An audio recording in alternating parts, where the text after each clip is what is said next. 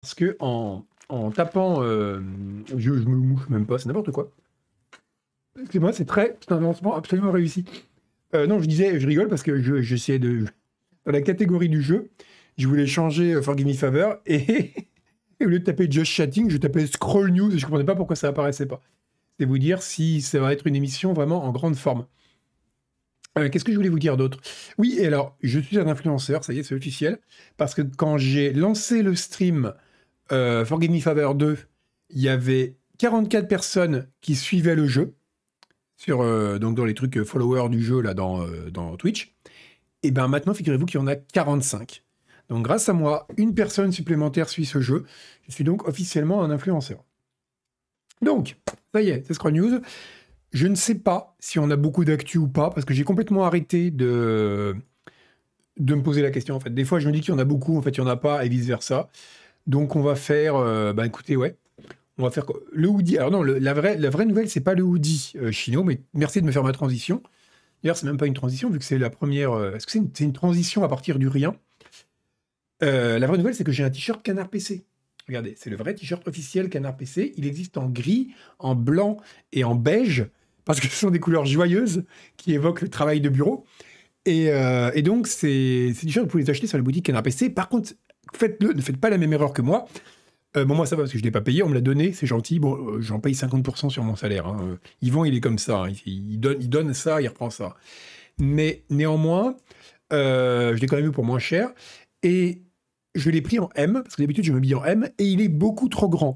Donc, prenez-le dans une, taille, la taille en dessous de ce que vous prenez d'habitude. Sinon, vous risquez de flotter un petit peu dedans. Euh, tu vois, un, mais coloré avec le lapin en. Bah écoute, une prochaine fois peut-être. Euh, les couleurs de la joie burologique. Ah, exactement, Black Music. Là, on est complètement dans les. C'est les couleurs tertiaires, hein, c'est les couleurs BNP. Euh, c'est vraiment ça. Donc euh, voilà, donc sinon c'était à peu près tout ce que j'avais pour créer de l'engagement, pouvoir attaquer l'actualité directe. C'est le tien de la Nive, euh, cin- 55 mois, Owen. Mais, et tu es un sur un streak de 52 mois.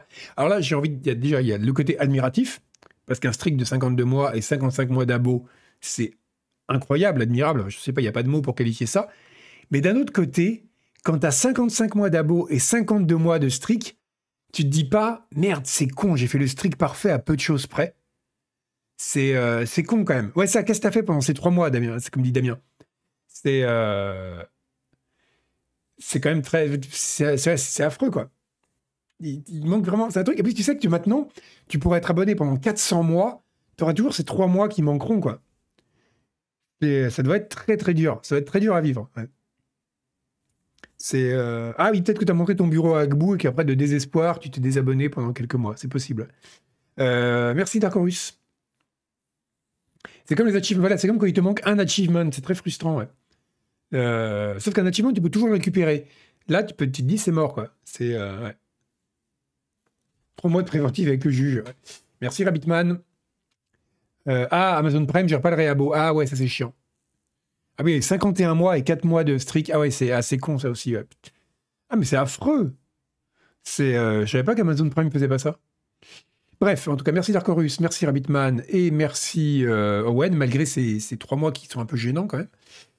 Et merci beaucoup à vous et on va attaquer tout de suite avec... Putain, on va- on va attaquer fort. hein. Euh, Attendez, bah, plus, j'ai même pas lancé Firefox. Bon, regardez, une lumière bien blanche pour bien nous cramer les yeux. Alors, je vous jure, euh, pour, euh, la nouvelle année, je, je mets un, dark mode. hein. Merci Kassampak. Ce sera mon bon. euh, Mais en attendant, voilà, pour 2023, vous devrez encore supporter ça. Alors, bon, de toute façon, on commence tranquille. C'est un peu une sorte d'échauffement. C'est parce qu'il ne faut pas rentrer dans l'actu d'un coup. C'est comme ça qu'on fait une hydrocution. Ce que vous êtes peut-être en train de manger. ou Vous venez de manger. Donc, on commence par le pédiluve de l'actualité. Un truc un peu cool, un peu léger, euh, qui risque pas de nous surmener, de nous claquer le cerveau. Skull and Bones a encore été repoussé. Donc voilà, c'est une, euh, voilà, c'est tranquille. Alors là, c'est de la, voilà, c'est Chip Citizen, exactement, c'est cool chat. C'est Chip Citizen, exactement. C'est un, c'est donc on, voilà, on commence tranquille au niveau de l'actu. Euh, vous attrapez des mycoses, non Parce que vous avez tous, j'espère, revêti vos petits, euh, vos petits crocs avant de venir dans le chat, euh, avec des chaussettes, hein, comme vous recommanderez à Gbou. Donc, vous ne risquez rien. alors, franchement, le croc avec des chaussettes, c'est dégueulasse. Alors, le croc avec des chaussettes que tu te trempes dans un pédiluve, c'est le summum de la dégueulasserie. Bref. Euh, mais il y a sûrement des gens qui font ça en Allemagne. Hein. Donc voilà, en tout cas, toujours pour dire que là, c'est de l'actu tranquille. Je veux dire, si on vous l'avait pas donné, vous auriez pu l'imaginer. Euh, voilà, Skull and Bones est repoussé à nouveau, donc il devait sortir là, fin, fin d'année, il sortira finalement premier trimestre 2024, donc entre janvier et mars, hein, parce qu'on on parle de quart d'année, hein, comme on dit chez, Scroll News. Euh, là, c'est du, quart d'année civil, pas du quart d'année fiscal. Donc voilà, ce sera entre. Donc ce qui est rigolo, alors c'est Eurogamer qui nous raconte ça, c'est que la dernière fois qu'ils avaient été repoussés, ils avaient dit c'est parce qu'ils voulaient que l'expérience soit beaucoup plus polie poli au sens de polir, hein, pas au sens de politesse. Euh, ce serait mignon qu'en fait, ils aient rajouté des lignes pour que les pirates, de dialogue, pour que les pirates soient plus polis. Parce qu'ils ne l'étaient pas assez avant, ça aurait été rigolo. Donc voilà, donc ce qu'ils voulaient, c'est donc travailler sur l'équilibrage, sur une expérience plus polished. Alors ce qui veut dire en langage marketing, le jeu est complètement déséquilibré, ça marche pas du tout et c'est à moitié pété. Mais bon, ok. Et surtout, ils voulaient build awareness. Donc en gros, ils voulaient que les gens soient au courant de l'existence du jeu, communiquer dessus, etc. avant de le sortir. Euh, ça, ça veut dire en fait personne n'attend Skull and Bones, mais bon, malheureusement, hein, j'ai envie de dire, euh, on s'en doute un peu. Mais là, le problème, c'est que là, et donc ça, c'était pour le dernier report, donc je les compte plus, hein, mais le dernier. Et là, cette fois-ci, il n'y a aucun, euh, aucune info qui a été donnée concernant le, ce, report-là, là, qui vient d'être annoncé. Donc, on n'a pas les motivations de ce report. mais ce sera probablement pour ajouter du polish, c'est-à-dire finir le jeu. et surtout que je pense qu'il. Je me demande vraiment. Il va sortir, j'en suis sûr. Hein. Vraiment, je suis prêt à parier qu'il sortira. Mais euh, parce que là, c'est pas comme BGE, quoi. C'est un truc, il est tellement loin en développement, il va sortir. Mais dans quel état, quoi? Et puis vous imaginez la honte. Vous sortez le truc, il est mais il se tape 5 ou 6 partout. Euh, personne n'y joue, ça fait un flop à la, à la Redfall. Putain, pour un truc qu'ils ont traîné aussi longtemps, c'est dur. Donc, je pense qu'ils sont arrivés dans ce stade un peu compliqué où ils sont conscients que le jeu n'est pas bon, en tout cas qu'il n'est pas en état d'être sorti tel quel s'ils veulent faire un truc qui, euh, qui sera à la hauteur de l'attente, si on peut dire, en tout cas de, de l'attente, pas au sens attendre des gens, mais de la durée pendant laquelle ils ont attendu. Euh, et d'un autre côté, ils savent pas trop comment faire pour le mettre, pour combler les, voilà, pour rattraper le retard en termes de qualité. Euh, et, ils sont dans la merde. Un jour ou l'autre, ils vont, ils vont se dire on arrête les frères, on le sort, mais je suis très très curieux. Et ça se trouve, il sera excellent. Hein. C'est quasiment improbable. Mais je suis très très curieux en tout cas de, de savoir dans quel été il va sortir. C'est euh, le sunk cost fallacy complètement sur la binois. Je pense que c'est ça. Et euh, il y a un côté sunk cost fallacy, mais au-delà de ça, il y a aussi le fait que plus. À partir du moment où tu as communiqué sur le jeu, c'est pas comme un truc que tu développes en secret. Quoi. à partir du moment où tu as communiqué sur le jeu régulièrement, que tu l'as repoussé et tout, euh, et qu'à chaque fois que tu le repousses, tu sous-entends que c'est pour améliorer le jeu, parce que, enfin, au bout d'un moment, tu peux pas, euh, tu repousses le jeu dix fois en disant on veut l'améliorer, faut que quand il sorte, il soit vraiment bon, quoi. Si quand il sort, il est nul, les gens vont se dire déjà dans quel état il était il y a un an, et puis, euh, et puis même pour toi, c'est c'est pas comme un jeu qui sortirait à une date fixe en fait, et tu dis bon, on pourra toujours le patcher après, le récupérer. Là, ça, on peut toujours, mais ça la foutrait quand. Et puis Ubi l'a déjà fait, hein, avec Siege, c'est l'exemple canonique mais quand même, ce serait. Euh, c'est un peu compliqué. Je, pense, ouais. J'aurais dû faire un early access, je pense, sous bas. Bah, il y avait déjà eu la bêta, mais la bêta n'a pas eu des suffrages très très positifs. Donc, euh, non, je pense qu'il y a. Alors, on peut jamais dire jamais, mais euh, c'est très hautement improbable que ce soit une bonne surprise. C'est donc bon, on verra, on verra. Mais, euh, mais donc bref, c'est un. Donc en tout cas, voilà. Et là, ils n'ont même pas annoncé pourquoi ils le repoussaient. Ce qui est assez rigolo parce que euh, ils n'ont pas même précisé que c'était pour build awareness parce que maintenant les gens savent que Skull and Bones va sortir. Euh, mais simplement, personne n'a envie de jouer à ce jeu en fait. C'est, je sais pas s'il y a quelqu'un, il y dans le chat qui a envie de jouer à Skull and Bones.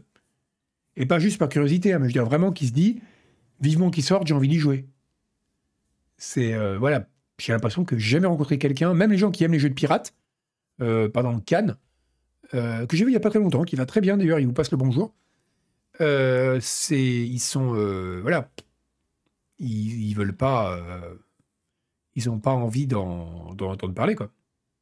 Donc ouais, c'est, je sais pas. Bref, donc c'est, très mal barré pour, pour Ubi. Un autre truc qui par contre lui est bien barré, et j'y aurais jamais cru, comme quoi je peux me tromper, Et ça se trouve, je vous dis des bêtises, Skull and Bones sera le meilleur jeu de pirate de l'histoire. Figurez-vous que, pour reprendre les mots de France 24, l'info en continu, l'angoissant Five Nights at Freddy's conquiert le box-office nord-américain. Ce truc fait un carton. C'est un carton de fou. Et euh, il est en tête du box-office, je crois. Euh, il est devant euh, le film-concert de la chanteuse Taylor Swift. Ça, c'est bien. C'est que qui a écrit ça? C'est pas marqué Non, c'est pas marqué. parce que je sais que c'est quelqu'un de ma génération. Parce qu'il a écrit la chanteuse Taylor Swift. Il n'a pas écrit Taylor Swift. Donc c'est quelqu'un qui est comme moi, qui est un peu chenu. Et euh, ça, ça me plaît. C'est quelqu'un de 20 ans, n'écrira pas la chanteuse Taylor Swift. Il écrira Taylor Swift. Et donc bref, euh, tout ça pour dire que euh, Five Nights at Freddy's voilà, fait un carton et, c'est dingue. C'est dingue que ce truc, que ce truc fonctionne, que ce truc fonctionne, enfin, fonctionne à ce point-là. Et c'est que comme les jeux, hein, ça a toujours été un mystère pour moi. Le, premier, le concept était très bien en termes de jeu d'horreur low cost, ça marchait super bien et tout. Et ok, succès mérité. Mais comment ce machin a pu faire une franchise pareille, alors que c'est quand même un jeu extrêmement simple, que tous les jeux étaient un peu les mêmes C'est ouf, quoi. C'est. Euh, oui, alors ça c'est vrai, euh, c'est très juste. C'est vrai que je pense que c'est un truc qui a pas mal marché sur les questions d'horreur urbaine. C'est parce que c'est un jeu qui a pas mal marché sur, dans toutes les communautés euh, creepypasta, dans toutes les communautés, vous savez, le, la bande Slenderman et compagnie. Slenderman, pardon. Le personnage d'horreur Slenderman, comme disent les gens de ma génération. Et, donc, c'est ouais, c'est un. Je pense qu'il y a vraiment un. Ça, a dû jouer en effet, oui, c'est pas bête. Et c'est un jeu qui est très YouTube, YouTuberable, euh, YouTubeable, en effet. Euh, une moyenne de 5 sur IMDb. Ah oui, c'est sûrement pas un très bon film, mais, euh, mais c'est quand même. et vous avez Killer of the Flower Moon de Scorsese qui est derrière. et... Alors, ça me fait de la peine, parce que Scorsese, il n'a pas fait que des bons films, mais il a quand même fait d'extraordinaires films, comme Taxi Driver ou, ou La dernière tentation du Christ. Et voir que Scorsese, dont on sait ce qu'il pense des, films de super-héros, a raison selon moi, se retrouve en troisième place au box-office derrière Five Nights at Freddy's et la chanteuse Taylor Swift, c'est quand même le pauvre, le pauvre. C'est euh, c'est quand même triste.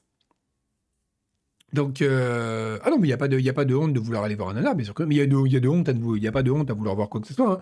J'ai de très bons amis qui, voient, qui vont voir des, des, des Narvel, des Narvel au ciné. Hein. Mais, euh, mais tout de même. En tout cas, c'est, ouais. Donc je suis assez étonné par le succès de façon euh, générale de ce, de ce film, quoi. Enfin, de cette licence. Ça, sera, ça restera un mystère pour moi. Oui, le Scorsese fait 3h30, c'est vrai, mais ça, c'est un autre problème, mais qui pour le coup touche autant, les, les, grands films ou les films sérieux que les films populaires, c'est que les films deviennent de plus en plus longs et c'est une vraie plaie, quoi. Le, seul qui est, c'est euh, Dupieux, qui maintenant fait des films qui font même pas une heure. Lui, il a tout compris. Bon, c'est vrai que quand les billets, de, les billets de ciné sont à 12 balles, ça fait un peu mal. Mais, euh, mais non, les films de 3 heures, faut arrêter. Mais bon, on va pas repartir là-dessus. Je suis contre les jeux de plus de 200 pages, les, les, les bouquins de plus de 200 pages, les films de plus de 2 heures et les jeux de plus de 5 heures. Mais qu'est-ce que vous voulez? On n'écoute pas. Mais dans quelques années, quand les, tables auront tourné et que les films de super-héros dureront 27 minutes, on dira que j'étais un visionnaire. Donc voilà. Euh, toujours est-il que euh, Final Fantasy Freddy's fait un carton et je ne comprends pas pourquoi. Euh, toujours sur les adaptations de jeux vidéo, un autre truc, alors ça j'adore en parler dans le Slack de la rédac, c'est... Non mais qu'est-ce que tu me fais toi? Il, copie tout, il copie même la mise en page. Et après, Google ne comprend pas. Regardez, vous l'avez sans doute vu, la série Fallout arrivera sur Prime Video le donc c'est 0412, mais c'est les trucs pervers américains tout tordus là. En fait, ça veut dire le 12 avril 2024. Et alors, ouais, et c'est rigolo, c'est que j'en parle à Zuzu, et alors lui, il donne pas sa chance au produit, quoi. Euh, c'est vraiment euh, euh, c'est c'est honteux quoi. Ça se trouve ce sera bien, on n'en sait rien. Ça se trouve ce sera super bien. Mais là là pour le coup, je suis sérieux. Je pense pas que ce sera terrible parce que la plupart des séries Prime et tout ça c'est pas terrible. Mais voilà, après bon, c'est Fallout quoi, c'est pas pas très grave, ça peut être juste un truc rigolo post-apo. Mais alors là, aucune chance, il laisse aucune chance au produit visuel. Je lui en ai parlé. il, est, est exactement, exactement, Serre Lapinou. il, euh, il visualise à fond. Et moi, je trouve ça intéressant parce qu'il y avait déjà eu The Witcher, qui est des adaptations comme ça de jeux euh, par des grosses. C'est la deuxième grosse licence de jeu qui est adaptée par une plateforme euh, en, série. Je trouve ça pas mal et, et ça peut s'y prêter bien en plus. Parce que c'est vrai que la série, c'est peut-être plus adapté à la durée, enfin, au fonctionnement d'un jeu. Surtout quand il y a quand un univers avec différents personnages, des protagonistes qui se, déplacent dans différents, lieux. Par exemple, The Mandalorian, j'ai trouvé ça nul à chier. Et là, c'est moi. Il y a des gens qui ont bien aimé, euh, ça vient peut-être de moi. J'ai trouvé ça nul à chier. Mais il y a un truc qui était bien dans The Mandalorian, enfin dans les quatre épisodes que j'ai vus avant de lâcher l'affaire, c'était que c'était vraiment un peu comme du jeu de rôle en fait. Tu avais vraiment le personnage qui allait d'une planète à l'autre, avec une petite aventure qui se quasiment contenue à chaque fois. Et ça, pour des jeux vidéo, je trouve que c'est pas forcément une mauvaise adaptation. Surtout pour des jeux un peu open world comme, euh, comme Fallout ou Witcher, euh, d'avoir un personnage qui se promène dans un monde et il lui arrive des aventures qui sont un peu des quêtes secondaires. C'est une structure qui marche bien, enfin qui peut potentiellement, je pense, avoir de l'intérêt pour l'adaptation de jeux vidéo. Mais voilà, en tout cas, euh, toujours est-il que, franchement, je suis vraiment curieux de ce que ça va donner. Je pense que ce sera pas terrible, mais, mais bon, c'est un. Je, pense, je pense qu'on peut pas l'enterrer avant, avant l'heure. Je sais pas, mais euh, en tout cas, je trouve qu'Isual, ça lui ressemble pas pourtant, a été un peu dur avec, euh, avec cette série Fallout. Euh, mais après, ça se trouve, le film. Non, Nights at Freddy's, vous m'avez dit, c'est 5 sur IMDb, donc manifestement, c'est de la merde. Mais bon, c'est. écoutez, on verra bien. Laissons, laissons sa chance au produit. Il se basait sur les mots-clés du communiqué, mais faut jamais. Si tu lis les, les mots-clés des communiqués, tu t'en tires jamais. hein. Adaptation Tolkien par Amazon. Les dernières séries Disney sont à chier. Je sais pas, le problème, c'est que je regarde quasiment pas de séries. Donc, euh, pour la même raison que je joue pas à des jeux de plus de 5 heures, sauf quand je suis payé pour, euh, ça prend trop de temps, mais. euh, je, enfin, voilà, je pense que pour des mini-séries, le jeu vidéo, ça peut bien s'y prêter. Bon, rien à voir. Alors, je sais même plus pourquoi j'ai Son. J'ai noté Son. Ça va pas du tout dans la logique de mon conducteur. Mais je l'ai noté dans cet ordre-là, donc on va en parler. Parce que qui suis-je pour remettre en question la décision que j'ai prise au hasard il y a trois heures? Euh. Donc, euh, il y a un appel au boycott de Total War euh, Warhammer 3. Euh, parce que c'est pourquoi? C'est parce que je dire si j'ai noté ce truc-là. En fait, j'ai noté cette, actu il y a une semaine, juste après le. Ah non, c'était il y a deux jours. Bah merde, quand est-ce que j'ai noté ce truc? Et je sais même plus de quoi ça parle. C'est voilà, c'est pour que je savais rien à faire dans mon conducteur. Tout le reste, je sais où je vais. Celui-là, je sais pas. Donc, on va essayer de le retrouver ensemble. Ça va être un peu l'actualité dont vous êtes les héros. Donc, il y a un boycott. Pourquoi j'ai noté ce truc-là?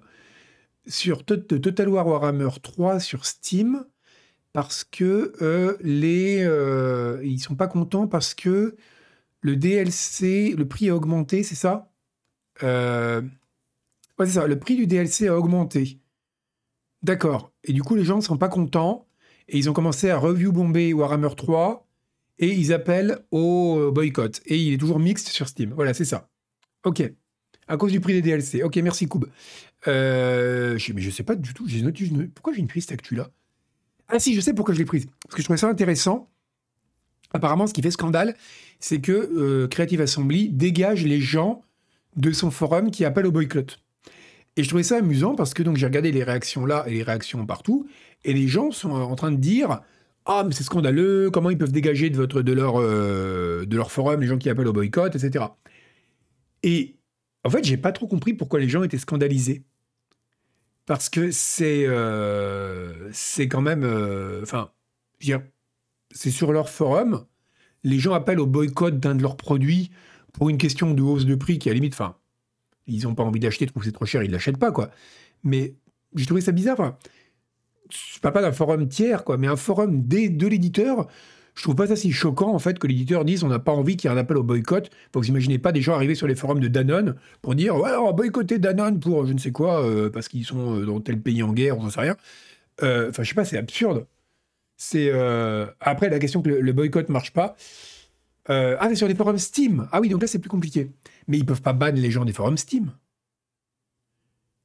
Euh, Non, il y avait un truc. Euh, Non, sur les forums, bah alors je comprends pas. Écoutez, j'ai rien compris à cette actualité, donc on va la laisser là. Je l'ai noté il y a euh, une semaine et il faut l'oublier. Mais, mais oh, salut Daz, salut Raider, vous arrivez pile quand on s'est perdu dans l'actualité. Vous voyez l'histoire sans fin, le moment où il y a le, cheval qui est dans le marécage et il y a Atreyu qui tire, qui fait non, comment il s'appelle le cheval? Apax? Non, Artax? Atrax? Artax? Donc il est là, non, non, Artax, ne te laisse pas embourber par la mélancolie. C'était Omar Boulon qui m'avait dit un jour, ça se voit que c'est un Allemand qui a écrit ça, il n'y a qu'un Allemand qui peut imaginer un bourrin qui s'est englué dans un marécage de mélancolie. Quoi. Il avait complètement raison. Anthrax, non pas Anthrax, Artax. Et euh, ah non, non, c'est la mélancolie, je suis sûr. Et donc voilà, bah, nous on est un peu comme Artax, on, est englué dans, les, dans une news et on n'arrive pas à en sortir. Oui, Fratus, c'est un autre problème, c'est que je crois que ce, mais ce, film a traumatisé tout le monde. Je crois que c'est des scènes, c'est comme Bambi, quand ils les ont écrites, ils se sont dit, on va niquer une génération. Quoi. Là, on, là, on les bousille. Et, euh, ils l'ont fait, hein, c'est assez vicieux en fait. Euh, D'ailleurs, complètement par hasard, mais suite justement au jeu Robocop, euh, dont le test euh, repassera, sera sur Canard PC euh, demain ou après-demain, euh, j'ai regardé, des, j'ai regardé sur YouTube des extraits, parce que ça fait longtemps que je n'avais pas vu Robocop, je dois faire 2-3 ans, je l'avais vu quand il est passé au forum des images. Bref, c'est ma vie, elle n'a aucun intérêt. Et, euh, et donc, j'ai regardé des passages du film, et euh, putain, la mort de Murphy, et toute la séquence en fait, de sa mort à sa résurrection, mais c'est tellement violent, j'ai oublié que c'était à ce point-là en fait. Il est, c'est, euh, même pour Verhoeven, c'est. euh, Bref. Euh, donc, passons. Euh, oui, c'est ça, c'est vraiment. Mais ça se trouve, mais t'as raison en fait, NZ. Ça se trouve, il y a des psys, c'est le lobby des psys, quoi. Ils disent, oh là là, on a moins d'adultes traumatisés, les gens vont mieux. On va demander aux producteurs de dessins animés de faire un Bambi ou un Artax dans les marécages. Bon, bref. Euh, Ah, mais Robocop, c'est très dark et triste, mais vraiment, là, mais, mais c'est un film qui est admirable à tout point de vue, comme tout ce que vous avez Robin à cette époque. Mais, euh, mais ouais, le, mais, mais la scène de la mort, elle est extrêmement violente. Bref. Donc, euh, oublions cette actualité, laissons-la dans les marécages de la mélancolie et dirigeons-nous vers le. Comment il s'appelle le chien dragon? Qui lui. euh, Ah, mais je dis pas que ma vie n'est pas intéressante, ma vie est passionnante. Mais comme la plupart des vies, elle n'est pas intéressante pour les gens qui la vivent pas. Euh, c'est pourtant les gens qui racontent leur vie, ça ennuie tout le monde. Pourquoi? Parce que la vie, elle t'intéresse toi, la vie des autres. Ça, vraiment, il est arrivé un truc de dingue, c'est pas très intéressant. Donc, euh, bref, on va vraiment parler d'une vraie actu, on va parce qu'on était vraiment de Nutri-Score F. hein. On va partir sur de l'actu plus intéressant. D'ailleurs, regardez, Bloomberg.org, hein, ça déconne plus, là on fait du journalisme. Certains des plus grands jeux de cette année, figurez-vous, ont été créés. Bon, c'est même pas l'appel à hyper de Spider-Man 2, mais je pense qu'on pourrait être quand même de, on pourrait parler dans la plupart des jeux sortis cette année, parce que vu le décalage des cycles de production, ils ont été en grande partie créés par des développeurs qui étaient chez eux. Et ça, c'est vraiment super intéressant. Parce que je me rappelle qu'au moment où il y avait le. ben, quand on était en plein confinement, à l'époque où on était encore. On quand on disait encore le confinement et pas le premier confinement, cette époque où on était jeunes et naïfs, il y avait des développeurs qui, déjà, je rappelle, je crois que c'était Larian qu'on avait parlé notamment pour Baldur. Alors, dans quelle mesure c'est une excuse, mais je pense que ça n'en était pas une, qui disait euh, c'est la merde parce que en termes d'organisation, ça nous fout dedans que tous les gens soient en télétravail et les jeux vont être en retard. Ça retarde nos cycles de production, ça casse tout. Et je pense que c'est pas complètement faux. Parce que quand vous avez un gros, quand même, passer tout le monde en télétravail, c'est quand même un gros, gros changement. Même dans des métiers qui peuvent être délocalisés facilement, comme le développement. Et ça, oblige quand même beaucoup de changements, à la fois au niveau humain, au niveau organisationnel et tout. Et je pense d'ailleurs, vous savez, il y a une énorme vague de jeux qui ont été repoussés l'année dernière. Et je, ça a jamais, je crois que ça n'a jamais été dit, mais je suis quasiment sûr que c'est lié. En fait, on payait le coût de tous les retards qui ont été accumulés pendant les cycles de production qui sont tombés en plein pendant le Covid, en fait. Parce que les jeux qui sont sortis au moment du Covid, genre euh, Doom Eternal, euh, comment ça s'appelait euh, euh, Le truc avec euh, Tom Nook, euh, euh, Animal Crossing, euh, tout cela, ils étaient, développés avant. Les jeux qui ont vraiment souffert du confinement, les jeux du confinement, en fait, c'était les jeux qui sont sortis un an ou deux ans après. Donc les jeux de 2022, en fait. Et ces jeux-là, ils ont... euh, et je pense que une grande partie des retards vient de là. Ça a dû beaucoup... euh, voilà, exactement, euh, Stiltorn. Parce que là, les gens étaient tombés dedans. Mais ce qui est amusant, c'est que on se rend compte que, passé cette période d'adaptation, merci Pouleman, qui a évidemment foutu tout le monde dans la merde, parce que, surtout sur des gros projets avec du management très complexe, comme des développements de jeux AAA, bah, le, passer tout le télétravail, forcément, ça désorganise tout. Mais une fois que le, nouvel équilibre est établi, si vous voulez, eh ben, ça marche plutôt pas mal. Et on s'est rendu compte. Et d'ailleurs, il y avait plein de, développeurs qui disaient à l'époque on ne pourra jamais faire des grands jeux, des jeux de qualité avec de cette pareille ampleur, avec des gens complètement euh, déstructurés aux quatre coins de la Terre comme ça, ou qui viennent jamais au bureau.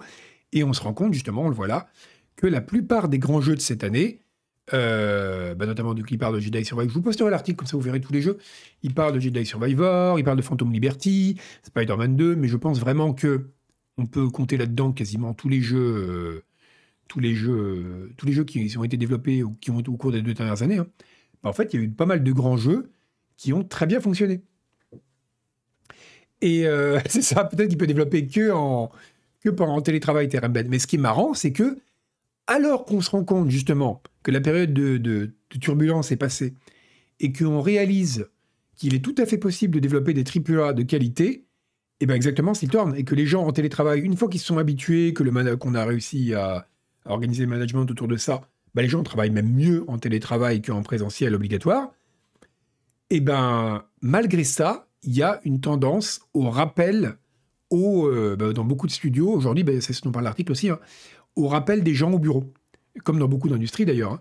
Il y a une sorte de, serrage de vis qui fait que les, gens sont en train de, revenir au bureau. Et vrai, dans beaucoup de, de, trucs de la tech.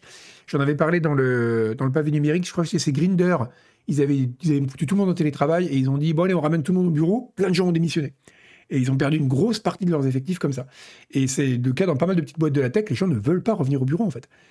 Et, euh, c'est marrant de voir que c'est, cette, euh, ils peuvent plus justifier en disant c'est pour l'intérêt des projets, parce que bah, de fait, on a prouvé que ça marchait.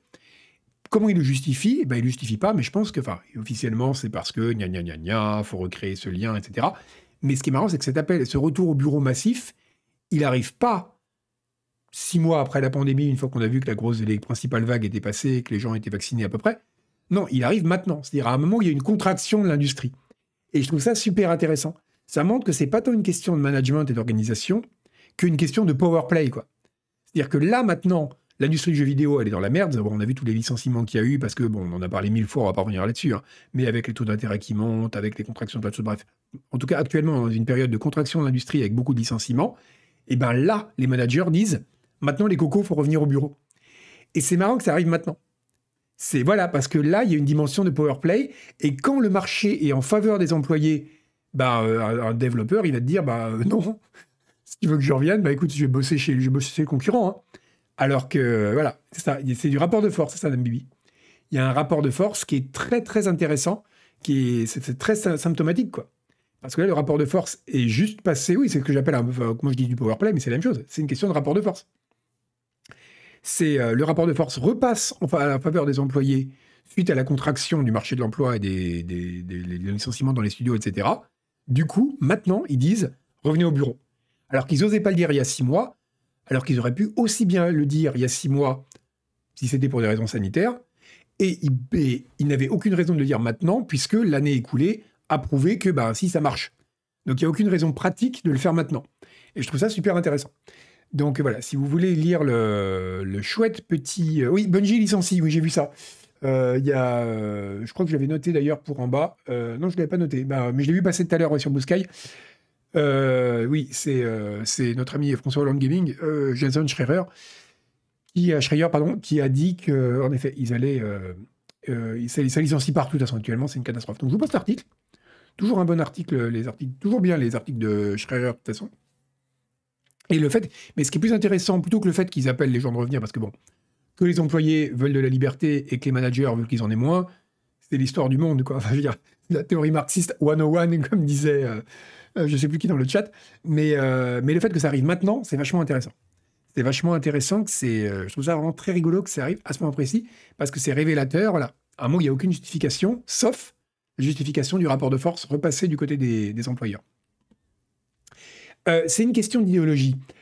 Euh, c'est une question, euh, c'est une question en fait de, bah, il y a une question vraiment bêtement, je pense, de contrôle des corps. C'est-à-dire que c'est un peu comme le, le, présent, le présentisme au bureau en général. C'est que des fois, tout le monde a connu ça, surtout si vous êtes une personne qui travaille rapidement. des fois, vous êtes au bureau et vous n'avez rien à faire, mais vous restez parce qu'il faut rester, quoi. Et, et ne pas rester, c'est mal vu. Alors que du point de vue au final, que vous partiez là ou pas, ça ne changera rien pour l'entreprise. Ce serait peut-être même mieux que vous partiez plus tôt, vu que vous ne faites plus rien, et vous serez plus reposé le lendemain. Donc il n'y a aucune raison de vous garder. Mais c'est vraiment une question de contrôle, de contrôle des corps et de contrôle du temps des gens. Parce que finalement, c'est du temps de travail que vous vendez à l'employeur. Donc euh, du temps de disponibilité de votre, de votre travail, en fait. Et de votre corps et de votre vie. Donc c'est vraiment, on ne peut pas le justifier autrement dans le fait que ça arrive maintenant. Et de ce point de vue-là, c'est intéressant. Euh, bref, on passe à la suite. Euh, alors, tiens, bah, on parlait de gens qui. Euh, de, gens qui rapportent de. Oui, et en plus, Lol, c'est vrai. Alors, après, là, je fais le mec super pro télétravail. Je suis pas entièrement pro télétravail 100%. C'est-à-dire que je. Euh, je pense que c'est bien que les gens se. Enfin, ça dépend des métiers. Mais dans un métier comme le nôtre, par exemple, ou dans toutes les industries créatives, on va dire, je pense que c'est bien que les gens se voient physiquement de temps en temps quand même parce qu'il y a un côté émulation, discussion autour d'un verre ou même d'une machine à café ou de quoi que ce soit, qui est importante, parce qu'il y a des idées qui naissent qui n'apparaissent pas de la même façon sur Zoom. Donc je pense que la délocalisation complète, euh, voilà, le tout télétravail, c'est pas forcément très bon. Après, il y a des gens pour qui c'est très dur euh, psychologiquement aussi, mais ça c'est encore autre chose. Mais du point de vue vraiment de, l'efficacité au travail, c'est bien de se voir aussi. Mais euh, par contre, quand c'est imposer la présence des gens, sans d'autres raisons qu'il faut que tu sois là, euh, oui, là, c'est clairement uniquement du, rapport de force. Mais oui, mais le fait de voir les gens, je pense qu'avoir deux jours de présence par semaine, c'est pas mal. C'est un bon équilibre. Après, chacun met voit le truc comme il veut. Hein. Mais après, ça dépend des gens, ça dépend des industries, ça dépend de ce que tu fais. Euh, si jamais tu moulines euh, du code pour une banque et que tu es tranquille dans ta baraque au milieu de nulle part et tu, tu, fais que pousser sur un Git, franchement, tu peux le faire de n'importe où. Quand c'est des industries où il y a quand même plus des à côté créatifs, euh, je trouve que c'est dommage que les gens ne voient pas. Euh, merci Belton. Et en effet, en plus, tu évites les temps de transport, ce qui est utile dans, certains endroits. Notamment les endroits où les gens s'entassent pour travailler et payer des loyers très chers. Euh, alors, je ne sais pas ce que c'est que ce truc-là. Risetera. Ah si, ben voilà, c'est le forum. Alors, j'ai vu ça, c'est rigolo. Capcom tombe sur un forum. J'ai trouvé ça sur Reddit ce lien, euh, c'est comme ça qu'on se retrouve là-dessus. Euh, Capcom, on parlait de la, crise de l'industrie. Bon, voilà. Euh, donc, dans une interview, Capcom dit qu'il prévoit donc d'écouler 45 millions de, jeux sur console, c'est-à-dire si l'industrie va mal, qu'ils ont besoin de licencier. Hein. merci, Nan. mais, donc, il, leur dit, mais comment est-ce que c'est possible? Parce que voilà, et Capcom dit, nous avons un titre majeur qui sortira dans la deuxième moitié de cette année fiscale. Donc ce sera probablement pendant le dernier trimestre fiscal, donc le premier trimestre civil, donc pendant les trois premiers mois de 2024. Euh, donc voilà, pour booster les ventes de notre catalogue, blablabla.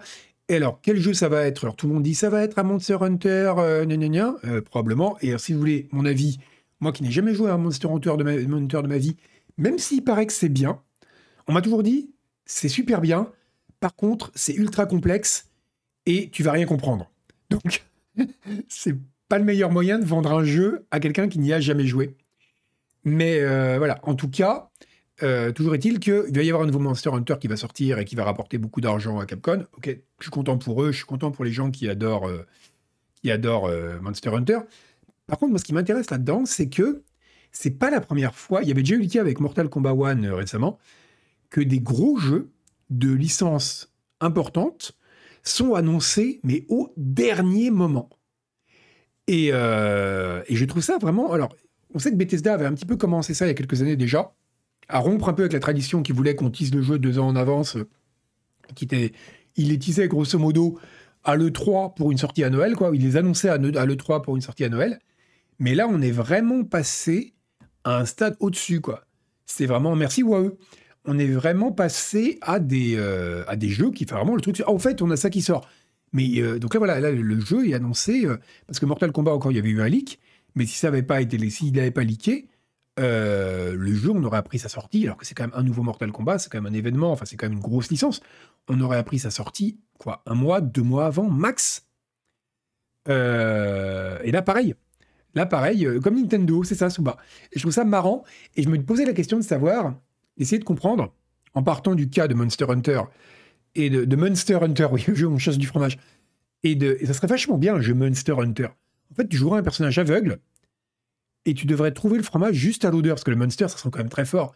Et donc, tu auras une sorte de compteur en bas, un peu comme un compteur GGR euh, dans, un stalker, un truc comme ça, qui t'indique le niveau de radiation. Là, tu aurais un bouton pour renifler. Ce serait génial en plus comme gameplay, parce que tu aurais un vieux bruit de. Et tu devrais trouver le monster comme ça. Euh, ça pourrait être avec des cases à gratter. Comme dans le film de John Waters, là. Euh, vous imaginez, vous aurez des cases à gratter. Et vous dites, là, là vous, caser la, vous grattez la case D4, tu grattes et tu es là. Ah non, je suis loin du monster. Et ce serait un super jeu. Ce serait un super jeu. Bref, euh, en attendant que quelqu'un. Bah, ça coûterait cher à produire. Parce qu'il il faudrait. Ouais, mais là, oui, mais c'est pas un jeu fourni avec des cases à gratter. C'est un jeu où le gameplay repose sur les cases à gratter. C'est encore le stade au-dessus. Mais ça coûte cher à produire. Parce que là, vous pouvez pas le vendre des maths. Parce qu'il faut fournir les cases à gratter aux gens. Euh, euh, c'est compliqué. Mais oui, ce serait un jeu intéressant. Euh, une version Pokémon Go. Oui, il faut en faire une comme ça dans le métro parisien. où tu dois identifier des odeurs et tout. Bref, Monster Hunter 6 euh, qu'est-ce que je disais? Oui, donc c'est marrant, je disais quel type de licence a ce traitement? Et en partant du cas de Monster Hunter et de, et de Mortal Kombat, j'ai l'impression que c'est quand même des licences grosses, mais c'est pas non plus des trucs. Euh, Quoique Monster Hunter, c'est énorme sur console. Je me disais, c'est plutôt des licences qui sont grosses, mais pas grosses, grosses. Parce que les, licences vraiment énormes, les trucs qui font qui, des, vrais unit shifters, comme type GTA ou Skyrim ou Elder Scroll, etc., euh, ou Call of, ceux-là, ils sont annoncés longtemps à l'avance. Les, tout petits jeux, ils sont annoncés aussi à l'avance, ne serait-ce que parce qu'il faut communiquer dessus, les gens ne les connaissent pas. Mais là, c'est des jeux, les gens les connaissent. Monster Hunter, vous voyez ce que c'est. C'est un truc trop complexe auquel vous comprendrez rien. Mortal Kombat, vous voyez ce que c'est. C'est un truc où les gens se tapent dessus et s'arrachent la moelle épinière. Et donc, vous n'avez pas besoin d'en dire beaucoup. Mais donc, c'est le jeu voilà, qui il sait qu'il va se vendre sur la licence, simplement, parce que vous pouvez l'annoncer la veille, les gens l'achèteront quand même mais c'est pas non plus un jeu qui est énormément attendu. Voilà, c'est vraiment de la pure, hypothèse pourrie. Mais c'est ça aussi être journaliste, hein, c'est remplir le, vent, le vide avec du vide. Euh, je me dis, c'est une taille particulière de jeu. Il faudrait faire une typologie des jeux qui ont été annoncés comme ça. Genre, il faudrait faire un graphe avec deux axes. Si je faisais du, data journalism, je ferais ça. Je prendrais le nombre d'unités vendues par un jeu sur un axe et le temps après euh, le temps, le nombre de mois euh, entre son annonce et sa sortie sur l'autre. Et je pense qu'il y aurait une corrélation. Donc ce serait, euh, voilà, ce serait, euh, oui, Monster Hunter c'est gros quand même, ça ultra. C'est pour ça que je me, demande s'il y a une corrélation là-dessus. C'est, il y, a un truc à faire, voilà. Donc je vous laisse y réfléchir. Vous penserez à ça cette nuit, vous vous réveillerez en sursaut à 3h du matin en disant oh, ça y est, je sais. Je vous laisse y réfléchir. Tiens, à propos de grosses licences, j'ai du nouveau sur GTA 6. J'ai du nouveau. Alors attention, attention, attention. C'est pas du bullshit. Parce qu'en général, quand les gens disent qu'ils ont du nouveau sur GTA 6, c'est vraiment des gens qui veulent vendre du papier ou des clics. en fait, ils ont rien à dire, genre, ouais, il y aura un personnage, ce sera un criminel. Eh ben non, là, j'ai vraiment du nouveau. Vous êtes prêts? Du crousti crousti, Turg. Il va y avoir un système de locomotion. Alors, on ne sait pas s'il sera dans GTA 6, mais en tout cas, il a été breveté par Rockstar qui sera très dynamique, qui, qui être des animations dynamiques et réalistes. Alors, je vous la fais courte. Euh, c'est assez technique et c'est pas forcément méga intéressant, mais en gros, euh, y a plusieurs, quand vous faites une animation dans un jeu vidéo, vous avez plusieurs façons de le faire. Ou vous faites ça à l'ancienne, c'est-à-dire vous prenez un modèle 3D et vous déformez le modèle pour chaque frame, et ça prend des heures, c'est vachement limité. Ou vous faites de l'animation par squelette. Je crois que c'est Half-Life, un des premiers jeux, Half-Life 1, un des premiers jeux qui a fait ça. Euh, en gros, vous avez une sorte de, vous attachez ce qu'on appelle des, bones, donc en gros des petits, petits éléments à certains, euh, à certains sommets du modèle 3D. Comme ça, par exemple, vous attachez un bone à la main et vous faites, eh, bougez le bone et ça bouge la main, etc. Donc ça permet de faire un truc un peu plus fin, parce que vous, pouvez faire de la motion capture à ce moment-là et bouger les os en fonction des, boules que vous collez sur un comédien. Et mais le problème, c'est que ça reste quand même assez rigide.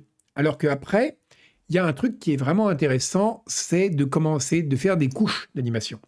Alors il y a d'autres éléments, par exemple faire de, donc de, bah, enfin, en gros de la de l'animation reverse, c'est-à-dire en fonction du, décor, vous mettez le truc typique, c'est dans les vieux jeux vidéo, vous descendez un escalier, votre personnage il va avoir un pied sur une marche, un, pied dans le vide. Dans les jeux plus récents, c'est pas le cas parce qu'il y a ce qu'on appelle des reverse kinematics, c'est-à-dire qu'en gros, il y a un moteur physique qui va essayer de déplacer les trucs pour les faire rentrer en, en collision avec le décor et ça va se répercuter sur l'animation. Dans l'autre sens, c'est une sorte de feedback en fait. Ce qui fait que du coup, si vous arrêtez votre perso au milieu d'un escalier, il aura un pied sur une marche et le pied d'en dessous sur la marche d'en dessous, comme dans la vie. Enfin, sauf si vous aimez rester avec un pied en au-dessus de l'escalier, je ne juge pas. Et bref, en tout cas, euh, et il y a donc parmi ces différentes techniques, il y en a une qui marche bien, c'est d'ajouter des couches d'animation. Ça, c'est un truc, le, modèle le plus simple, c'est un truc que je crois que c'est Counter Strike qui faisait, c'est l'un des premiers jeux à faire ça, euh, ou en tout cas les jeux, les, des modes de Half-Life. C'est que vous aviez une couche d'animation pour les jambes et une couche d'animation pour le haut du corps. Et là, c'est tout bête, c'est qu'en gros, vous prenez une pose neutre pour le haut du corps, une pose et pour des animations de marche. Donc vous avez une animation où vous avez un personnage qui bouge pas mais qui a juste les pattes qui tricotent. Et après, vous prenez une animation où le mec fait plein de trucs, il pose un explosif, il tire un coup de feu, etc., avec le haut du corps et les jambes ne bougent pas. Vous combinez les deux, de façon mathématique, c'est assez simple.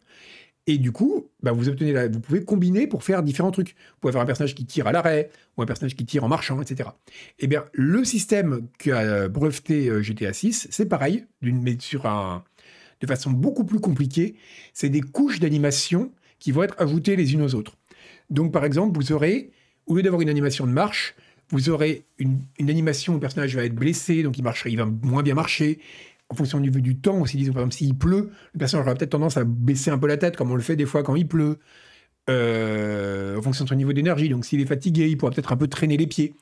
Et en combinant tout ça, des sortes de couches, vous aurez euh, bah, des animations uniques en fonction de la situation. Quoi.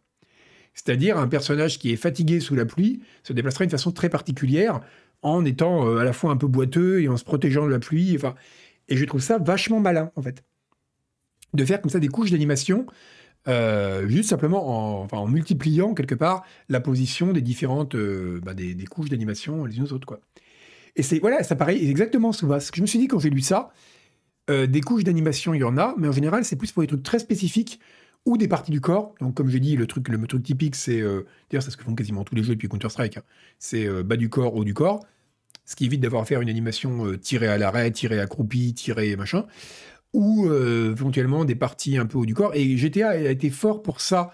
Il y a un truc qui est, pas, mal utilisé dans les jeux. Je crois que c'est dans GTA 4 qui avait ça pour la première fois et ça m'avait marqué à l'époque. C'est quand vous bousculez un mec dans la rue, au lieu de simplement être poussé comme ça, il va vraiment avoir son épaule qui part en arrière comme si vous bousculiez quelqu'un. Et là, je pense que ça, ça a été fait de façon dynamique. Genre, ils imposent une force sur le sur l'épaule, et après, le modèle tente de revenir au point zéro. Mais cela dit, c'est vachement intéressant ce qu'ils font en animation euh, chez Rockstar, parce qu'ils sont vraiment forts pour faire des animations euh, crédibles. Et je trouve ça vraiment... Euh, alors, ils veulent breveter quoi? C'est juste interpolation. Alors, oui, d'un point de vue mathématique, j'ai pas le détail, hein, mais ça n'a pas l'air très très compliqué. Par contre, euh, enfin, je suppose que c'est, oui, en effet, c'est une interpolation de différentes couches, hein, donc ça doit pas, c'est juste, il n'y a rien il n'y a pas de grand secret là-dedans au niveau maths. Par contre, ce que tu peux breveter, c'est l'idée simplement. C'est breveter un système qui utilise différentes couches pour que d'animation interpellée, interpellée, pardon, interpellée, vu que c'est GTA, pour que les, un personnage se comporte de telle ou telle façon selon le, selon les, en réagissant à différents éléments, etc. Ça, ça se brevette, hein, ce qui est d'ailleurs un scandale, mais ça se brevette. C'est, euh, ils ont inventé le ragdoll. Bah, le ragdoll, pas tout à fait. Parce que le ragdoll, l'idée, c'est justement de repasser le contrôle au moteur physique par rapport à des animations qui sont scriptées, on pourrait dire, en fait. C'est pour ça que pendant longtemps, les ragdolls, c'était uniquement pour les animations de mort. Parce que tant que le personnage se déplaçait normalement, bah, il était vivant, il se déplaçait selon ses animations.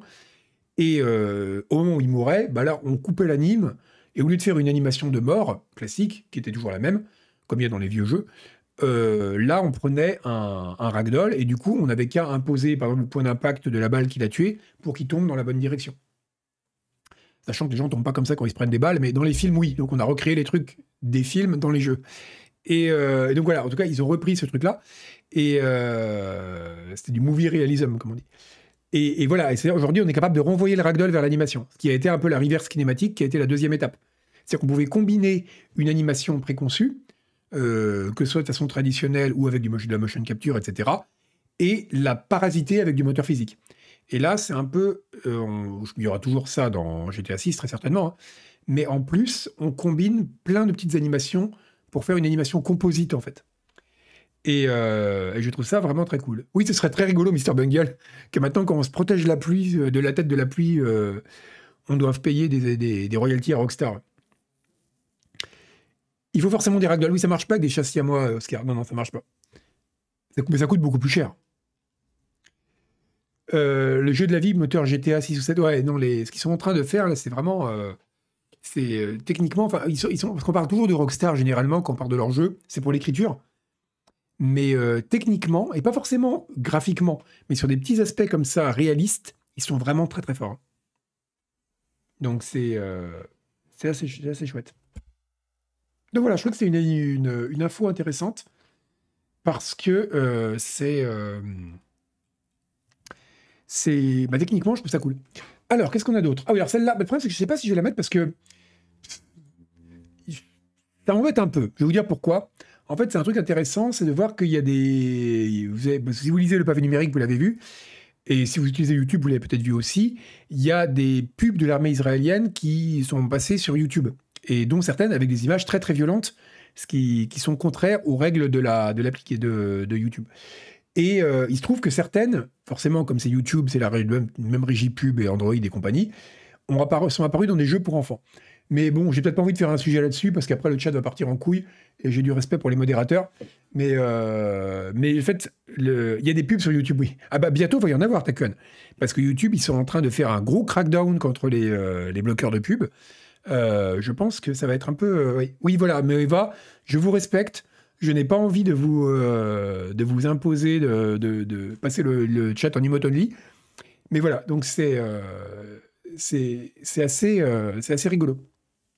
C'est assez, rigolo. Enfin, non, il n'y a rien de rigolo là-dedans, parce que tout est tragique du début à la fin. Mais dans le tragique et l'absurdité de la totalité de la chose, le fait que l'histoire d'un petit gamin qui joue un petit jeu tout mignon et d'un coup il y a des images horribles qui apparaissent sur son téléphone, euh, il y a quelque chose de tellement grotesque et absurde que c'est bref. Passons. Euh, mais donc on va pas faire un sujet plus là-dessus. Euh, je préfère faire ça dans le, dans le pavé euh, numérique, comme ça vous lisez, mais vous, donc vous pouvez dire ce que vous voulez, mais pas dans le chat. Non, j'ai pas confiance dans mon chat, d'accord. On parlera de cul après. Bah, on va faire ça, tiens d'ailleurs. Vous avez, vous n'avez pas dit de bêtises sur Israël. En échange, vous aurez droit à un sujet cul, qui est celui qu'on n'a pas eu le temps de faire la, semaine dernière. Figurez-vous que le speedrun Q de Baldur's Gate a été battu. Le simple fait qu'il en existe un me fait rire déjà énormément. Il est passé sous les deux minutes. Donc on était à 3 minutes 26 secondes pour parvenir évidemment à coucher avec, euh, comment elle s'appelle, euh, la, la Gitianki. Il est passé sous les deux minutes. Donc, euh, et le, mais le, c'est comment il s'appelle, c'est Lizel, voilà. Donc je trouve, mais merci tonton Yo-Yo. très bonne décision, très bonne décision. Donc voilà, c'est le record a été battu. Et j'ai- alors je me posais la question. Je crois pas qu'il y ait eu d'autres jeux dans l'histoire avec des speedruns, des speedruns qui merde. T'as vu comment on les a eu, mon Eva? On les a. Ils étaient, c'est ce qu'on appelle un, un, un, two punch. C'est quoi C'est le, je sais plus comment ça s'appelle quand tu donnes un coup et un deuxième pour sécher le mec, quoi. Et là, c'est pareil, tu vois. On les, on les, on les avec un truc guerre et là, paf Et hop, emote only. Donc voilà, je trouve ça très très rigolo. Euh, Baldur's Gate 3, et donc, euh, mais le, donc le concours continue. Et euh, je vous chercherez sur Internet. euh, Il y, euh, il y a des communautés entières qui cherchent à battre ce record-là, et je trouve ça extrêmement drôle. Vous allez pouvoir enlever l'emote only, parce qu'on va parler de sujets pour vieux. Vous savez bien qu'il faut faire un point boomer shooter à chaque fois. C'est comme ça, c'est la loi. Euh, alors ça, c'est Isual. On disait du mal d'Isual tout à l'heure, mais il a bon cœur, ce garçon. Parce que c'est Isual qui a posté ça dans le Slack de Canard PC en me disant « Ça pourrait t'intéresser ?» J'ai mis Isual comme ça parce qu'Isual n'a pas mué, comme il est très jeune. Vous sachiez que la voix d'Isual que vous croyez connaître, c'est pas sa vraie voix. On a un filtre IA qui modifie sa voix en temps réel. En fait, il parle comme ça. Et euh, mais bientôt, il muera. hein. Il, il, mu- il muera. Comme Jean-Louis. Comment on conjugue le verbe muer? Muet, conjugaison, futur. C'est quoi le futur simple? Il muera. C'est bizarre, hein, il muera. Bref. Euh, c'est ça, Isual, mais y a des, ça c'est vrai, euh, notre génération, t'as raison. Il y a des gens, même jeunes, ils étaient vieux, et bien Isual, même vieux, il sera jeune. C'est. euh, oui, il y a un autotune. ah, ce serait tellement. On devrait faire une. mais Pour moi, parce que non, parce que le but, c'est quand même de rapporter de l'argent avec ces émissions, donc il faut que les gens les regardent. Mais une émission où on parlerait tous avec un autotune façon PNL, Ce serait tellement bien. J'imaginais une émission entière où les gens parleraient comme ça. Ce serait à devenir dingue, ce serait hilarant. Euh, D'ailleurs, j'ai plein d'idées de streams euh, expérimentaux. Il faudrait que je, je, bricolerai ça bientôt, là, quand j'aurai un peu le temps. Euh, canard PNL, exactement. Ah, ça, pourra, ça faire du clic, ouais. Euh, il faut le faire. Mais en plus, c'est rigolo. Là, actuellement, je suis en train de m'amuser. Enfin, j'ai récupéré un vieux master keyboard que j'ai branché en MIDI. Et là, je suis en train de bricoler des trucs pour voir si. En fait, c'est très facile de dire des inputs MIDI. Putain, on peut faire des choses très très drôles quand même. Et euh, on entend des pout pout pout et en voyant comment on peut piloter ça. Et il y a moyen de faire des trucs très très rigolos. Donc, je cherche des idées de choses expérimentales à faire. Euh, bref, euh, j'ai envie de faire des trucs rigolos là sur le, stream ces temps-ci, donc je vous posterai ça. Bref, euh, donc oui, euh, je vous disais, donc Isuel très gentil, il a posté ça pour me faire plaisir, figurez-vous. Il est gentil, le petit Zuzu. Il y a une, alors c'est la deuxième édition, je n'avais pas entendu parler. Il y a une, une enfin une, level jam sur Quake 2, parce que là vous me direz, ok, normal, hein, il y a des gens qui font des niveaux pour Quake et pour Doom depuis des siècles. Mais là, le thème c'est le brutalisme. C'est la Quake Brutalisme Jam 2, et des gens, ça c'est pour Quake 1, pardon, enfin pour, non c'est Quake 1. Et donc regardez, c'est que des niveaux. Le, vous pouvez faire ce que vous voulez comme niveau, mais il faut que ce soit brutaliste. Et je trouve ça génial. Regardez ça. Regardez ces niveaux. Et donc, ce qui est marrant, c'est que ça offre quand même des. Surtout que le moteur de Quake s'y prête très très bien. Euh, et c'est euh, vraiment super cool. Hein. Et ce qui est bien, ça permet quand même des styles très différents, vous voyez Parce que, à part le fait, le côté brutaliste, il n'y a aucune euh, contrainte. Hein. Donc les gens ont fait des niveaux quand même. Regardez ça. Super beau, quoi. C'est vraiment la grande. Oui, c'est un côté contrôle, en effet, une Aiden. Ouais. Euh, regardez ça. Et on en fera peut-être quelques-uns en, stream parce que c'est. Ouais, je vais vous poster le lien, Nicus, bien sûr. Euh, je suis pas comme ça, moi, je suis croquer les petits frères. Ça, c'est un truc qu'il faut dire avec un, un autotune PNL, par exemple. Regardez-moi ça. Ça déchire. C'est vraiment tout ce qui est cool dans le level design des vieux FPS, quoi. C'est ce côté euh, espace liminal absurde, quoi. Regardez comme c'est cool. Je vais vous faire ouais, t'en fais pas, ce qui est voilà, donc c'est du bonheur pour les yeux. Et c'est à vous tout de suite, regardez. Je vous poste ça. Et alors, en plus, ah oui, c'est le Corbusier compatible. Euh, d'ailleurs, je, le ferai un jour. En fait, le problème, c'est que j'ai tellement de trucs à faire. Mon, grand drame, c'est que, je vais vous faire une confession terrible, je suis mortel.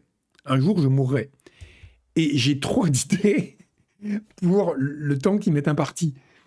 Et euh, en fait, j'aimerais un jour faire un scénario pour l'appel de Cthulhu qui se déroulerait dans l'univers de Le Corbusier. Et on serait poursuivi. Je ne sais pas si vous connaissez le modulor. C'est le. En fait, c'est le. Mais ça, je décrirai un jour ce scénario. En fait, j'avais commencé à faire des. C'est ce truc-là qui avait en fait la grande théorie de Le Corbusier. C'est de dire qu'en gros, il pouvait avoir une sorte de taille idéale d'un être humain qui servait de modèle. Et parce que bon, comme tout ce que fait Le Corbusier, c'est quasiment fasciste, hein, on peut le dire. Et, euh, et regardez, en fait, l'idée, c'était ça. C'était d'avoir cette espèce de personnage qui représentait en fait une sorte d'étalon de la forme d'un être humain et euh, il serait. Ah oui, pour les chiens de Dalos, c'est un bonheur, euh, le Corbusier. Hein. attends, c'est que. Attends, ici, Dalenda. C'est que des ongles, le Corbusier. Suis sûr que ce mec, il, était de mèche avec les chiens de Tindalos. Et, euh, donc voilà, il y a cette espèce de truc. voilà, en gros, l'idée, c'était d'avoir un personnage qui représentait le modèle idéal. Donc par exemple, toutes les pièces étaient conçues pour que vous puissiez avoir les trucs à portée de main, etc., quand vous êtes assis. Et donc, moi, j'imaginais que, en fait, les, gens seraient dans une sorte de vieil ensemble, type un peu HLM, euh, type brutaliste, le Corbusier. Euh, euh, les, personnages, en fait, les, gens seraient. Enfin, les, héros, quoi, seraient poursuivis par ce genre de créatures. Et ce serait un truc genre Procuste. Vous savez, si vous connaissez Procuste dans la littérature grecque, c'est le mec qui découpe, il met les gens dans un lit, et s'ils sont trop grands, il les, les étire. Non, il les coupe. S'ils sont trop petits, il les étire et ben l'idée serait d'avoir le modulor qui serait un peu ce genre de monstre qui voudrait que les gens soient parfaitement standards pour les appartements Le Corbusier, sinon il les torture. Quoi. Et ça ferait un super euh, scénario de l'appel de Cthulhu. Faut juste que je trouve le temps de l'écrire. Quand je l'aurai fini, je le balancerai en PDF. Euh, voilà, voilà. Donc c'est, euh, oui, c'est vrai que j'ai toujours le temps de tout faire, Koub, mais mais pas totalement. malheureusement, j'ai pas encore. Oui, oui. Alors, le, oui, le Corbusier était, il y a des. mais en fait, visuellement, j'adore le brutalisme. Mais l'idéologie qu'il y a derrière le Corbusier, quand même, c'est pas top. Euh, je sais qu'il y a des gens qui le défendent et qui disent Mais c'est merveilleux. C'est, quand même vraiment une vision très utilitariste de l'existence. Mais bon, bref, en tout cas, je vous poste le lien.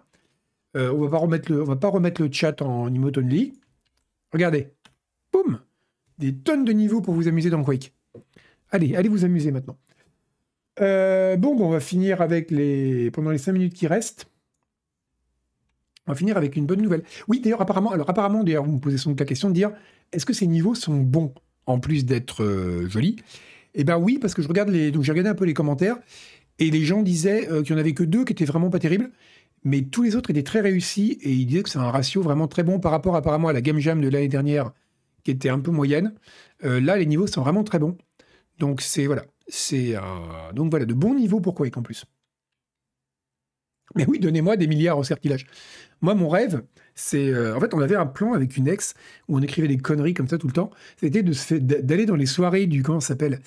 Du, du, collège euh, de pataphysique, où il y a que des vieux profs de fac, etc., d'en trouver un sympa pour qu'il nous mette sur, euh, sur son héritage. Mais un vieux un peu riche qui a un appart à Paris un peu grand et tout. Et pour ensuite, voilà. En fait, mon projet, c'est de trouver un, de devenir rentier. Il faut que je trouve un mécène pour ça. Parce que malheureusement, notre projet n'avait pas marché. Euh, donc, une petite nouvelle un peu légère, un bonbon, comme dirait, comme dirait Yvan. Euh, Voyager 1 a été patché, figurez-vous. Alors, Voyager 1, c'est la sonde qui est partie en 77, comme Star Wars, hein, ça ne nous rajeunit pas. alors, le Make Something Horrible, vous aurez les résultats dans le canard PC de novembre, donc celui qui sort après-demain. Enfin, non, jeudi, parce que après-demain c'est férié et, euh, qui sera aussi. Euh, donc le, résultat sera aussi sur le site bientôt. Et c'est une très bonne game jam. Hein. Le, niveau moyen était très très bon. Vraiment, euh, félicitations à vous tous. Et on, pendant, on fera un stream aussi où on parlera du jeu de la game jam, évidemment, parce que c'est c'est cool. Oh, merci Asken, merci beaucoup. C'est très gentil. Donc c'est ouais, c'est mais c'était une très bonne game jam. On est content des résultats. Euh, il y, avait quand même, on va pas, se mentir, hein, il y avait une grosse dominante tribunal des bureaux quand même. Hein. C'était un peu, ça a été à 50% la game jam tribunal des bureaux et à 50% la game jam canard PC. Mais euh, sinon, à part ça, très très bien. La date de sortie du numéro spécial 20 ans, eh bien, ce sera le numéro de novembre. Donc, c'est le numéro qui sortira. Euh, bah, c'est fou, qui sortira jeudi pour mon anniversaire, figurez-vous. C'est dingue ça. Quel beau cadeau. Donc, ouais, il sort, il sort jeudi. Et, donc, c'est un numéro normal, hein, c'est le numéro de novembre, sauf qu'il y aura 16 pages en plus. Donc, ce n'est pas un hors-série. Donc, si vous êtes abonné, vous le recevrez. Donc, pas la peine de l'acheter. Enfin, vous pouvez l'acheter si vous voulez en avoir deux, pour le faire découvrir à, un ami. Mais euh, voilà, vous l'aurez. Euh, vous l'aurez. Euh, voilà, vous le recevrez. Ce n'est pas un numéro hors série. J'aurai 20 ans, exactement ça, chiale. J'aurai 20 ans. Donc voilà, c'est donc là, oui, donc là je disais, la NASA a patché Voyager 1 à, à 24 milliards de kilomètres de la Terre, ce qui est quand même assez cool. Parce que franchement, un patch déployé à 24, oui, on va streamer les jeux de la Jam, Faith. Pas tous, parce qu'il y en a vraiment beaucoup, mais on va en streamer une sélection. Et par contre, tous les gens qui ont participé sont remerciés dans le numéro de, de novembre, évidemment. Et on a, on en a. Oui, alors, programmé, alors en quoi c'est programmé, je ne sais pas. Euh, je crois que c'est. Non, c'est pas du Fortran ou du COBOL. Je crois que c'est un langage, un langage machine tout chelou. Euh, ah non, c'est un Fortran, c'est un Fortran. Voilà, c'est un Fortran 5. Ok. Je viens d'apprendre qu'il y avait des, le Fortran 5. Et là, il y a sûrement des gens qui se sont dit, ah bah oui, c'est quand même beaucoup mieux que le Fortran 4, etc. Mais voilà, c'est un langage. Donc, ils ont, ils ont patché ça en Fortran. Et donc, voilà, transmis à 24 milliards de kilomètres. Je trouve ça quand même assez cool. Euh, bah écoutez, c'est euh, c'est incroyable. Euh, je suis né le jour des morts, exactement. Et je suis scorpion. Ce qui est le, Scorpion, c'est terrible. Hein, parce que c'est le. Tous les signes astrologiques, c'est grosso modo, ouais, plutôt sympa, plutôt, plutôt timide, plutôt bien organisé. Scorpion, c'est connard, quoi c'est, je crois, je crois pas du tout en l'astrologie. Enfin, je crois en l'astrologie comme je crois au tarot, comme je crois à tout, parce que esthétiquement, ça m'intéresse. Mais je crois pas vraiment en l'astrologie. Mais c'est quand même dingue qu'il y ait quand même un signe astrologique dont la description c'est gros connard, quoi. C'est, euh, c'est quand même assez. Enfin, c'est limite injurieux pour un douzième de la population, quoi. C'est. Euh, oui, c'est vrai que cancer, c'est pas cool non plus. C'est vrai. Euh, Sagittaire, c'est bizarre. Ta femme est scorpion JPS, bah voilà, désolé, hein, je suis désolé, ça doit être une grosse connasse, mais je compatis. Hein, euh, on est comme ça, nous les scorpions. Hein. Non, c'est, vraiment euh, scorpion ascendant scorpion. Ça, c'est quand, même, euh, c'est affreux, quoi. c'est le, patch a voyagé, voyagé pendant 23 heures dans l'espace. C'est ouf ça. Quand on pense que pour patcher un jeu Steam dans la Creuse, il faut plus de 23 heures, et là en 23 heures, il a fait 24 milliards de kilomètres quoi. C'est euh, comme quoi tout est relatif. Euh, alors Sagittaire, ah, vous savez, alors oui, alors les Sagittaires dans le chat. Petite info à destination des Sagittaires. Vous ne savez peut-être pas. c'est un peu comme ces pubs, vous savez. Vous ne savez peut-être pas, mais vous êtes éligible à 10% de réduction de TVA, enfin d'impôt, si vous installez des panneaux solaires. Eh bien, si vous êtes Sagittaire, vous ne le savez peut-être pas, mais vous êtes peut-être éligible au 13e signe du zodiaque caché. Je nomme le Serpentaire. Le Serpentaire, c'est un signe astrologique qui n'apparaît pas dans l'astrologie traditionnelle, mais qui, en fait, recouvre une certaine partie du Sagittaire. Parce qu'il y a 13 constellations dans les, anciennes formes d'astrologie, et celui-là, il a été zappé, ne me demandez pas pourquoi. Vous, vous irez voir sur Wikipédia, hein, vous aurez toute l'histoire. Je l'ai su, mais je l'ai oublié.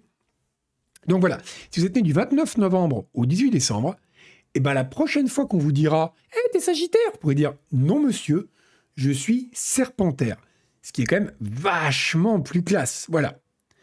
Donc, c'est donc sachez-le, si vous avez des amis serpentaires, euh, euh, sagittaires, hein, dites-leur qu'ils sont peut-être en fait serpentaires, ce qui est quand même beaucoup plus cool, parce que franchement, être d'un signe du zodiaque caché, c'est quand même vraiment cool. Voilà. Donc je vous le mets là. Vous saurez, c'est euh, assez intéressant. je ne me souviens plus pourquoi il a été décalé, mais c'est toute une histoire de longitude, de machin, qui a été mal calculé parce qu'il y avait un sextant tordu. Enfin, vous connaissez ces histoires-là. Hein. Euh, mais voilà, en fait, voilà. Il devrait y avoir 13 signes du zodiaque. Tout est décalé. Tout ce qu'on vous a appris est faux. Les scorpions sont des gens super cool. Et les serpentaires, les certains sagittaires sont en fait des serpentaires. Euh, voilà, voilà, donc c'était bon à savoir. Euh, après, il y a des constellations, il y a la baleine, le corbeau, la coupe, enfin après, on va pas rentrer dans ces trucs sordides. ça, c'est le niveau supplémentaire quand même. Merci Lacan pour ton abo. Et enfin, pour finir, on finit avec un petit peu d'autopromo, euh, avec donc le numéro des 20 ans de Canard PC, euh, qui sort en caisse donc le 2 novembre. Et en attendant, si vous voulez euh, le lire avant l'heure, mais oui, mais non, mais ok, mais je suis ok pour les pour les pour les cookies, moi, je suis ok pour tout. On a donc posté, pour celles et ceux qui ne l'auraient pas encore vu, donc dans le numéro des 20 ans, il y a une frise sur les 10 dernières années de Canard PC, 2010, de, 2013-2023. Mais on avait fait dans le numéro des 10 ans une frise des 10 premières années de Canard PC qui est disponible gratuitement en PDF. Alors c'est un morceau le truc. Hein. Euh, regardez, il est là. Pouf c'est, euh, Vous pouvez voir toute l'histoire des 10 premières années de Canard PC gratuitement sur le site. Regardez, je vous poste même le lien direct. Et euh, voilà, vous avez absolument toute l'histoire de Canard PC. Oh, ta tête de boulon, quoi, comme il l'a dessiné. J'avais oublié ça. Voilà. Et ah oui, les, faux numéros. Ça, c'était cool. C'était Agbu qui l'avait fait celui-là.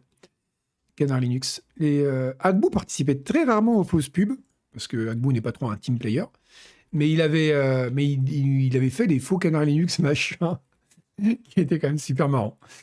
Euh, et le pire, c'est que on dirait une couverture de Canard PC Hardware. Quoi. Je,